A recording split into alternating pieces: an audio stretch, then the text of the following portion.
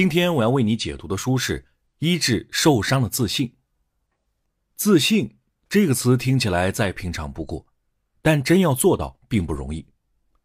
比如在团队工作里，明明经常有不错的想法，但总是不敢主动说，只好眼见着更好的工作机会一次次溜走。又比如有了喜欢的人，自己条件也算不错，但就是不敢表白，只得苦苦暗恋。生活中缺乏自信的例子有很多，严重时还会影响日常生活。缺乏自信会让人做事提不起劲儿，本来在能力范围里的事也完不成了。不自信的人整天都很沮丧，自认一无是处，而随着失败的事情越来越多，本来就残破的自信就变得更少了。那么，如何修复受伤了的自信呢？本书就是为了那些缺乏自信的人而写的。书的作者是法国精神科医生弗雷德里克·方热，他在书中解读了自信机制，并围绕引发自信缺失的原因，提供了对症下药的心理处方，帮助人们从缺乏自信的恶性循环中走出来，敢于去行动，并更爱自己。接下来，我将分三部分为你解读本书的内容。第一，什么是自信？第二，是什么让人不自信？第三，如何建立良好的自信？首先来讲第一部分，什么是自信？不自信会带来怎样的坏处？自信是人格的一大基本元素，表现出来的是一种坚定果决的行动力量。本书作者认为，自信像一个金字塔结构。由三个层面组成，它们相辅相成，彼此影响。这个金字塔的底层是最基础的个人自尊，简单来说，就是一个人的自我价值感。我们眼中的自己，是不是一个有能力完成各项生活事务的人呢？是不是一个有价值的人呢？每个人都有自己的独特价值，这是不容其他人指摘的。这种根本性的自尊心，在童年就应建立好。它是自信的基础，在个人自尊之上，金字塔的中间层就叫自信，它代表人在行动、决定和计划过程表现出的信心和能力。一个人从幼年起如何被人评价，会影响他对自己能力的认识。如果一个孩子做事常受到鼓励和表扬，他在日后的行动中就会越来越相信自己是有能力的人，可以做成一件事情。自信也就在这个过程中自然而然建立起来，在个人自尊和行动的自信之上，金字塔的顶层自我肯定才被建立起来。一个人只有从心底里肯定了自己的价值，认同自己是有能力的，才能真正处理好社会关系，在人际关系中如鱼得水。心理学研究发现，人如果不能从良好的社会关系中获得友善、支持和肯定等正面能量。原初的自尊再完好，也有可能导致心理不健康。而良好的人际互动会让人更加自爱，更懂得欣赏自己，不断给自信提供能量，让我们的自信越来越强大。自信金字塔的三个层面相辅相成，彼此影响。任何一个层面出了问题，人都会变得脆弱而不自信。从本质上来说，缺乏自信就是一种行动障碍。一个不自信的人被一套阻碍行动的思维机制束缚住了。首先是错误的思想影响了行动，人对自己能力和价值的看法被扭曲了，觉得自己成不了事，行动就被阻碍了。接着，随着行动越来越少，做成功的事也越来越少。长此以往，人就更确信自己能力不行。而随着越来越不自信，人会感到伤感、沮丧、恐惧、忧虑。表现的颓废和自卑，甚至还会产生内疚感和羞耻感。这些负面情绪会让行动变得更困难，自信就越来越少，人际关系也会慢慢遭腐蚀。无论在别人眼中还是自己眼中，个人的价值都越来越低。不自信还会导致选择障碍或决定障碍。当人们面对二选一的情况，就意味着一旦选择了 A，就要有能力承受不选 B 的后果。而自信不足的人难以承受任何一个后果，所以就不去做选择。书里讲了索尼娅的例子，他做什么事都特别纠结。儿子踢完足球，他没法决定是开车去接呢，还是让儿子自己乘车回来。家里电脑坏了，他也决定不了是买一个全新的还是买个二手的。但是选择早晚是要做的，拖延问题并不能解决问题。事实上，不做决定本身其实就是一个决定，而且是一个不用付出行动的决定，一个会产生负面结果的决定。比如拖拉着一直没换电脑，等要急用的时候就耽误了事儿。在严重的情况下，不自信还会导致各类心理疾病，比如抑郁症。抑郁者长期陷入伤感，做什么事都没兴趣，表现在身体上就是行动迟缓、疲劳和睡眠障碍等。而不自信的人恰恰就是行动困难，这又不断加剧了抑郁的症状。还有社交恐惧症，主要表现为害怕他人、惧怕人际交往。不自信的人会害怕别人对自己的评价，并且认为得到的评价都会是负面的，所以他们就想避免和他人接触，宁愿待在孤独封闭的环境里。另外，酗酒、厌食症等问题也和自信缺失有关。好，前面我们说了，不自信是一种行动障碍，会给人生活的方方面面带来问题，还可能导致心理疾病。不过，人也不是越自信越好。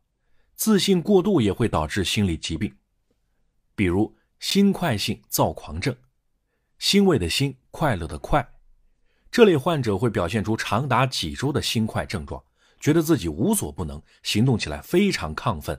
还有自恋，自恋者表面上非常自信，对自己评价很高，但仔细接触就会发现，他们的自信给人带来的是压迫，总是通过控制别人来刷存在感。比如经常告诉你你做错了，而只有他才是对的。以上就是第一部分的内容。接下来的第二部分，我们就来说说是什么让人不自信。书里介绍了让人不自信的七大成见，也就是人们对世界的既定看法。根据表现和成因，我们把它分成三组来讲。第一组成见有三种，他们的表现很类似，就是否定自己的能力，分别是我一无是处，我做不到。和我永远都做不了决定，这些成见让人不能客观的对自己的能力进行评估，还没去做一件事，就先得出否定的结论了。为什么会这样呢？这与童年早期的经历和后天的环境有关。首先是童年经历的影响。书里举了朱斯蒂娜的例子，小时候家里人没有给他足够鼓励和认可，所以他总觉得自己干什么都不行，是个毫无优点的人。这个成见顽固地扎在他心里，难以被动摇。长大后，在人际交往上，特别是感情上，他就总觉得自己对异性毫无吸引力，对于心里喜欢的男生也从来不敢去接近和争取。但同时，他的内心又会责怪自己不敢行动。除了童年早期的影响，后来的生活环境也会对心理成见的固化起推波助澜的作用。比如读大学的塞利亚，他的身边有一群人。总是在看清他、否定他、不看好他，这让本就自信不足的他更加确信自己是无能的。因此，他遇到事情总觉得我做不到。他害怕考试，因为怕挂科；他害怕同学，因为怕被别人说他无趣透顶。好，我们说完了第一组成见，他们的表现为否定自己的能力；第二组成见则表现为把个人价值建立在别人的评价上。他们是我需要别人喜欢我、欣赏我、认可我，以及我必须做得更好。先来说说那些总是需要别人喜欢、欣赏和认可的人。这类人认为自己必须被重要的人认可，自己才更有价值。此外，他们还认为一旦遭人拒绝，就说明自己一无是处。为了获得认可，他们一方面会掩饰自己的个性，顺从别人的想法，好让自己容易被接受；另一方面，他们觉得只要对别人好，自己就不会被拒绝，所以他们就去花时间满足周围人的各种愿望。可这样做让他们很可能被别人利用，甚至奴役。他们身边也容易聚集一些擅长剥削、利用别人的人。另一种把个人价值建立在别人评价上的成见是：我必须做得更好。有这个成见的人一般是完美主义者。完美主义者认为，一旦自己没有做到完美，在别人眼中的价值就变低或丧失了，就会被别人抛弃。所以，完美主义者十二分的在意他人看自己的眼光和评价。如果得到别人肯定的评价，就会觉得自己很有价值；而一个否定的小眼神，很可能会让他们的自信受到打击。而这样一种苛刻的想法，意味着只有永远做到最好、最完美，完美主义者的地位，比如在工作团队中的地位，才能保持下去。完美主义者的这套思路，让他们时刻活在自己给自己设置的重压之下，时间表排得满满的，时时刻刻得保持精进，而这会导致时间永远不够用。接着，因为要做的事情太多，做不完，反而形成了拖延。而对完美主义者来说，KPI 没有完成，这太糟糕了，他们可忍受不了。随着心情受到影响，完美主义者会越来越焦虑。并继续减少自己娱乐和放松的时间，人际关系也因为烦躁的心情受到影响。比如，客人还在吃饭后甜点，他们就在想着接下来赶紧收拾碗筷，然后还得好好写单位的年度总结呢。于是，恨不得快点请客人离开。过度的完美主义让人对自己和他人都充满不满足、不满意，最关心的只有结果、快乐、闲暇感。这些在完美主义者的世界里是不存在的，取而代之的是争强好胜。比如，虽然爱弹钢琴，但只要一开始弹奏，心里想的就是如何成为演奏高手，胜过周围所有人。好，我们说完了第二组把自我价值建立在他人评价上的成见，第三组里的两种成见，它们产生的根源则与心理问题甚至心理创伤有关。他们是我总是自寻烦恼。和我无法信任别人。先来说说我总是自寻烦恼。自寻烦恼就是过分夸大潜在的风险，让自己提前陷入焦虑和不安。典型的例子就是杞人忧天。比如，因为担心自己没办法承担更大的责任，而宁可甘于平庸，也要拒绝领导的提拔；又比如，因为怀疑自己没有处理意外事件的能力，而放弃出国旅游的机会。这种成见的根源在于焦虑，在自寻烦恼的人眼中，世界很危险，而当他们遇到无法预见的问题时，就会更加质疑自己解决问题的能力。书里讲到皮埃尔的例子，他有一种信念，认为靠担忧可以防止负面事件的发生，比如因为担心意外，所以不出去旅游，而因为没有出去旅游，也自然没发生意外，这就让他觉得自己的未雨绸缪真是有道理。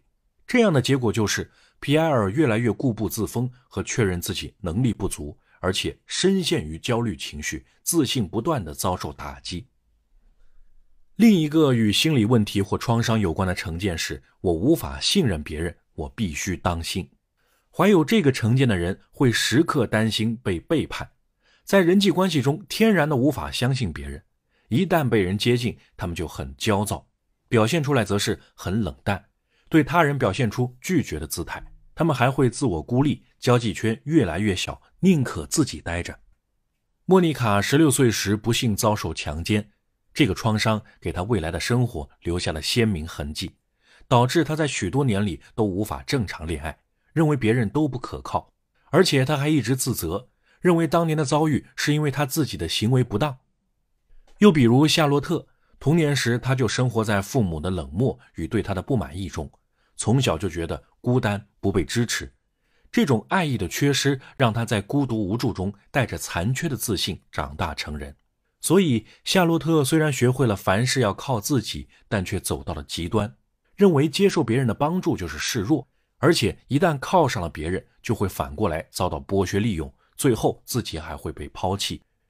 由于心理创伤造成的不自信成见，对人的一生都有很深的影响。严重时需要心理咨询等外界的专业帮助，才能让人走出不自信的阴影。以上我们分析了造成不自信的七大成见，以及他们如何在一点一滴中破坏自信。那么，如何建立良好的自信呢？接下来就讲第三部分：建立良好自信的三大关键点。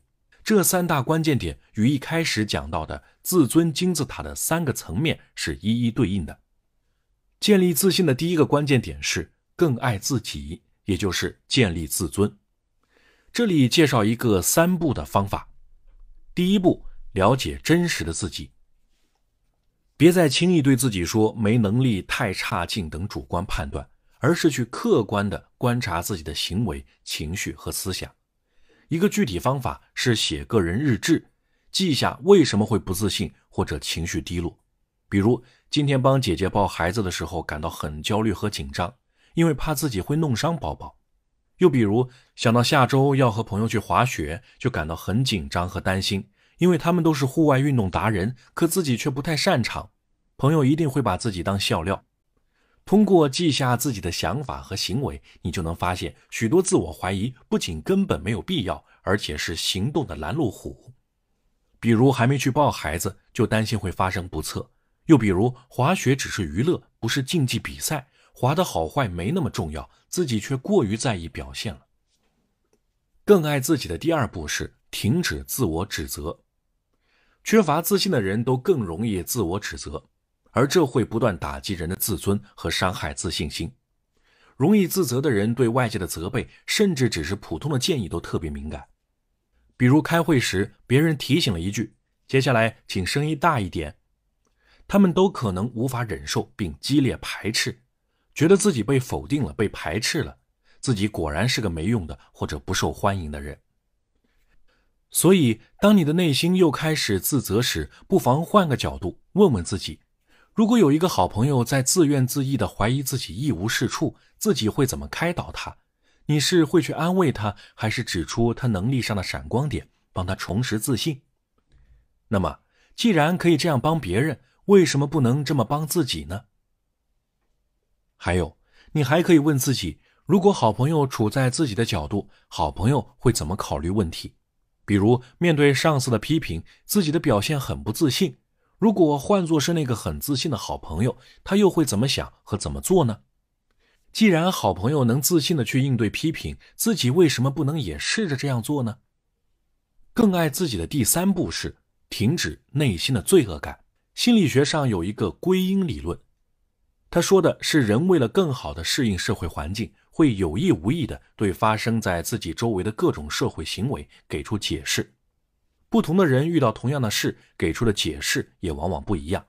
比如，消极的人遇到事情做对了，就认为都是别人的功劳；办砸了，却都是自己的错。积极的人恰恰相反，事情做坏了不会一味的怪自己，办好了却会想里面也有我的功劳。所以，不自信的人在归因上都很消极。怎么认清这种消极想法并改善它呢？方法是建立一张。五栏表格分析具体事件中自己的前前后后的想法和情绪。第一栏是具体事件，比如和男朋友在参加亲友聚会后回家，一路上他都不怎么说话，就把这件事写下来放在第一栏里。第二栏里要记下此时的情绪，并给情绪打个分，比如感到了八十分的苦恼。接下来在第三栏里写下自己的想法。比如，肯定是男朋友不喜欢和自己的家人在一起，才闷闷不乐的。然后是第四栏，在里面写下更积极的、有建设性想法。比如，就算男朋友不太喜欢参加家庭活动，也不意味着彼此的感情出了问题。最后，在第五栏里，再次给调整后的情绪打分。比如，依然有些苦恼，但只剩三十分的苦恼了，比一开始的程度降低了。通过这样具体而有针对性的方法，内心一开始的消极信念就能不断降低，直到控制在一个合理的程度。讲完了第一个关键点，更爱自己，接下来就讲第二个关键点，敢于行动。它对应的是自信金字塔的中间层，也就是自信这一层。具体方法分为三步。第一步，用实际的行动激发自信。经常有这样的例子。小李一边抱怨在做着额外的工作，一边又对上司的要求来者不拒。这样的冤大头做久了，人人都会觉得小李好说话，脏活累活丢给他就行。这时，小李就需要行动起来，比如对上司说：“这周我可以做这件工作，因为您一时也找不到别人，但我也有自己分内的工作要做，不可能永远替别人收拾烂摊子。特殊情况下我可以帮忙，但我不希望这成为惯例。”这样的良性沟通会让别人更加清楚你的底线，接下来就会更尊重你，而这些反过来会增强你的自信。另外，也要多听别人建议，因为一个陷入不自信怪圈的人，其实是听不到别人的真诚鼓励和真实好评的。这就需要把别人对自己的看法作为镜子反观自身。比如，可以想一想，如果自己确实很糟糕，这么一个出色的男人，为什么会愿意和我一起生活二十多年呢？同事为什么遇到难题时会想到来请教我呢？敢于行动的第二步是敢于做决定。前面讲到过，不自信的人会出现决定困难，所以他们每当要做决定前，就要先去分析各种选择的利弊，清清楚楚地写下来，不要让他们含混不清的在脑海中纠结，阻碍接下来的行动。做决定也要有技巧，定的目标要合理，因为目标定太高就不容易做到，做不到又反而会伤害自信。你可以设定一个小目标，比如节日到了，给女神发一条问候微信。如果得到正面回复，内心就会受到鼓励，交往中的自信就慢慢建立起来。再定下一个小目标，比如约了中午吃一顿工作日午餐。行动时也要注意风险评估，因为不自信的人特别害怕失败，所以不要轻易让自己跌倒，以免挫折了行动的勇气。敢于行动的第三步是有技巧的去行动。修复自信不是一件容易的事。找到一些合适的技巧，可以提高行动力和行动的效果。比如，不要只在自己擅长的方面行动，不太在行的行动也可以成为提升自信的支撑点。马蒂厄是一名网球运动员，他把所有时间都花在训练上了。但当教练告诉他，以他的水平永远不可能参加国际级的比赛时，马蒂厄的自信濒临崩溃。因为他把全部的自信和人生价值都建立在网球运动上了，但很多时候能否取得成就，并不完全取决于努力，而是多种因素的共同结果。所以对马蒂厄来说，可靠的做法是在网球领域之外找一个备选项，比如在训练之余还能在学业上有所追求，或精心照料个人小家庭的建设。那么，一旦在体育事业上受挫，马蒂厄还能在其他方面寻找价值，找回自信。另一个修复自信的技巧是优化外表。佛靠金装，人靠衣装，这句大俗话有它的道理。虽然的确有许多非常自信的人在外表上却不修边幅，但对不自信的人来说，花点功夫提升外表，比如穿更漂亮的衣服、化得体的妆容，这些都是给自信加分的高效办法。想一下穿制服的公职人员吧，无论他们内心自信与否，在庄重的警察制服或法官衣袍衬托下，那种尊严感、不容侵犯感，总让人更容易尊重和信赖他们。当然，提升外表不意味着为了追求美貌去整容，这也很好理解。我们常说“相由心生”，由内而外散发的自信才是真实的。讲完了第二个关键点，敢于行动。接下来讲第三个关键点，在交际中做自己。它对应了自信金字塔的顶层，也就是人际交往中的自信这一层。具体方法归纳起来，就是要勇敢地表达内心的真实想法。如何表达呢？首先，具体说出自己的需求和愿望。不自信会让人对自己哪怕是很正当的要求都不敢向人开口。但是说出自己的要求，就表示自己的存在是不容忽视的，自己是一个有要求和愿望的人。我们可以遵循三个步骤来表达自己的需求。第一步是消除那些认为自己不该或者不配提要求的消极思想，用积极的思想替代他们。比如，我有自己的权利，这样为自己争取是非常正当的事。第二步就是想想哪些需求是自己应该说但一直没说的。比如遇到职业困境时，就可以向配偶寻求支持，而不是自己一个人硬扛；或者说委托邻居帮自己签收一个快递，而不是因为不敢麻烦别人，任凭冰冻食品在门口融化。第三步就是具体说出你的需求，比如说我理解我今天不能来，您会觉得有些麻烦，但今天是休息日，我刚好又有事要处理，所以抱歉没法过来。通过有步骤的表达出自己的要求。人会为自己迈出了这一步感到自豪，也会为自己的需求被实现而感到高兴。之后，自信就能进一步得到恢复。